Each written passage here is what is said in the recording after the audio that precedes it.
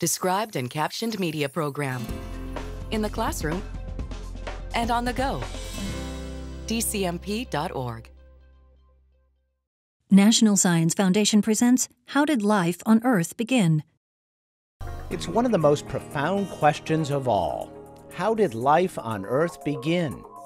Early on, when I got into science, I decided that I'd, I'd like to work on a big question, a question um, that would be interesting all of my life. And the more I thought about original life, the more I thought this really fits the bill.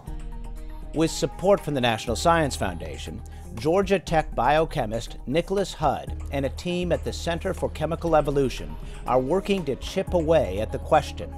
They are homing in on how chain like chemicals called polymers first came together and evolved three and a half to four billion years ago. The Described and Captioned Media program provides services designed to benefit students who are blind, visually impaired, deaf, hard of hearing, and deafblind. These services include a library of free loan described and captioned educational media, a clearinghouse of information related to educational media access, a gateway to internet resources related to accessibility, and a set of guidelines for adding descriptions and captions to media. There are no user registration or service fees. Visit the DCMP at dcmp.org. The DCMP is funded by the U.S. Department of Education and administered by the National Association of the Deaf.